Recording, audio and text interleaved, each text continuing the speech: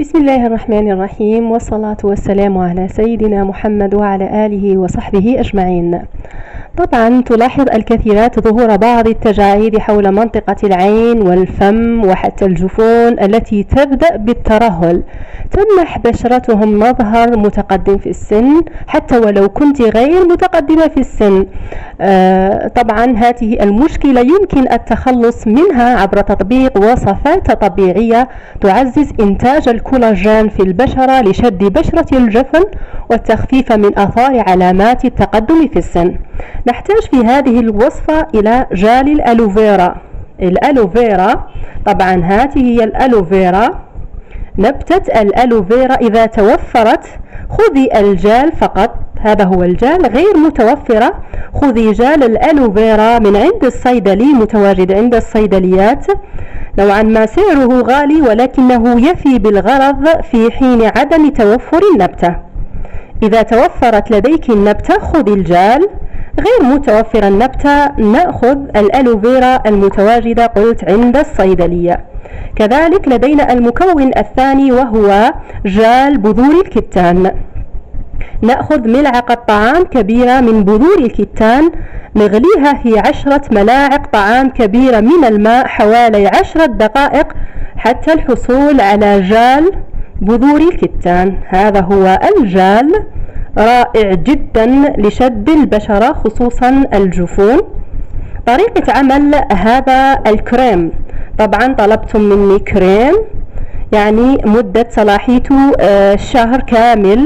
وأنت تستخدمينه. نأخذ اثنين ملاعق طعام آه، عفوا اثنين ملاعق شاي من جال الألوفيرا. المكون الثاني هو جال بذور الكتان. كذلك بنسب متساوية نأخذ جال بذور الكتان.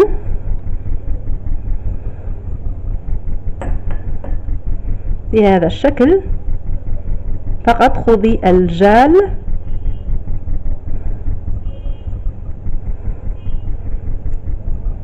لم أرغب في تصفيته حتى تلاحظن أنه جال بذور الكتان اثنين. اثنين ملاعق شاي كذلك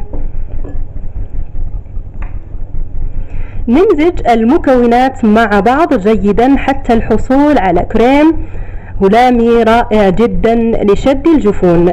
يمكنك استخدام كذلك هذا الكريم لشد بشرة الوجه. كذلك رائع جدا ولجميع أنواع البشرة. نتحصل على هذا الكريم الرائع جدا.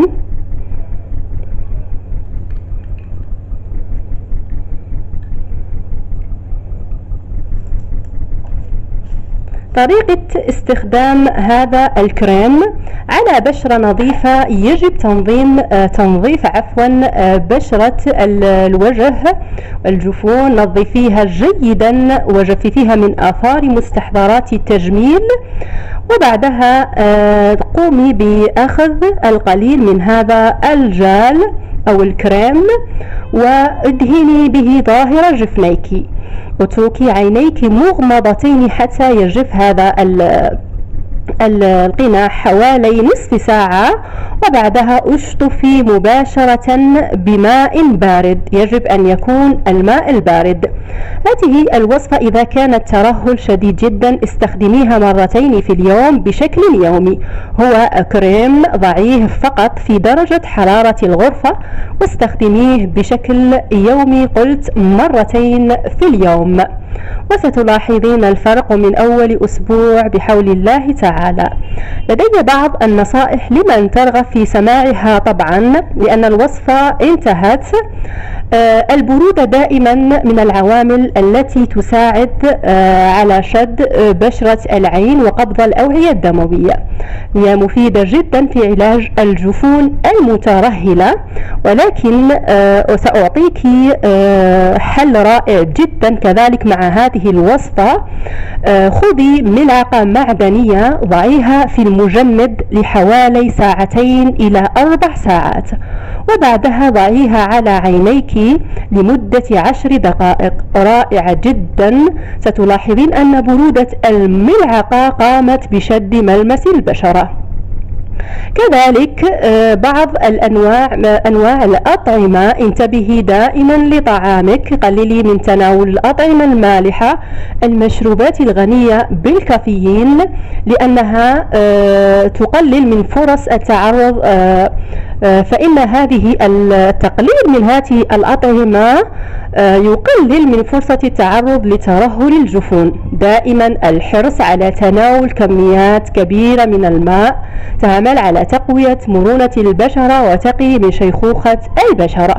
كذلك أوصي بعمل كمادات من ماء الخيار لأن ماء الخيار يتميز بغناه بأحماض الأسكروبيك والكافيك والتي تمنع احتباس الماء في العين فتقلل الانتفاخ وتعمل على شد البشرة. كذلك هذا الكريم يعمل على تقليل الانتفاخات يمكن وضعه حتى على منطقة الهالات. وقلت يمكن وضعه على كامل البشرة. حتى بشرة اليدين والجسم بأكمله يمكن استخدام هذا الكريم. قل تعمل على شد البشرة يعني الخيار ومن الأفضل إذا كنت مرتاحة وضع شرائح الخيار وتكون باردة جدا لمدة عشرة دقائق بشكل يومي. بالأخير لا تنسوا الاشتراك بالقناة ومشاركة هذا الفيديو حتى تعم الفائدة. أترككم في رعاية الله وحفظه. والسلام عليكم ورحمة الله وبركاته.